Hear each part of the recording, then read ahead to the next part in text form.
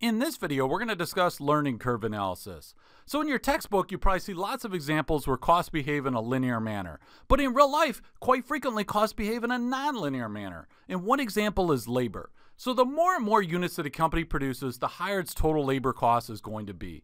But as a company produces more and more units, the labor cost on a per unit basis can actually decrease and go down. And that's because the company's employees learn to do the task better and it takes them less and less time to do the task. The more you do something, the better at it that you get. So you're going to become more efficient. It's going to take you less and less time to do it. And we call this a learning curve. By the way, you might also hear the phrase experience curve. It's a related concept. It's just what we call a learning curve when we're not just talking about labor, but things like marketing, distribution, and so forth. So the experience curve was actually popularized by the consulting firm Boston Consulting Group uh, several decades ago. Okay, but let's get back to the learning curve.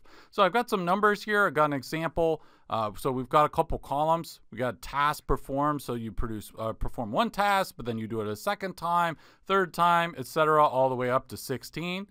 Okay, so we've got this uh, right here, the number of tasks performed, and then we have the amount of time, let's say in hours, okay, to perform uh, a task. So time per task, that's on uh, the axis here.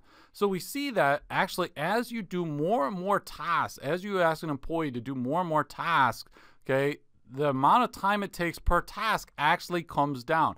That's what we're talking about uh, when we talk about a learning curve. Okay, so they do the task more and more times, they get better and better at. It. It's going to take them less and less time Okay, so if it goes 17 tasks, 18, etc., the more and more they do it, they're going to get better at it. It's going to take less and less time. So there's two popular learning curve models, uh, the cumulative average time learning model and the incremental unit time learning model. And I'm going to talk about each of those videos in detail and go through examples in the next two videos.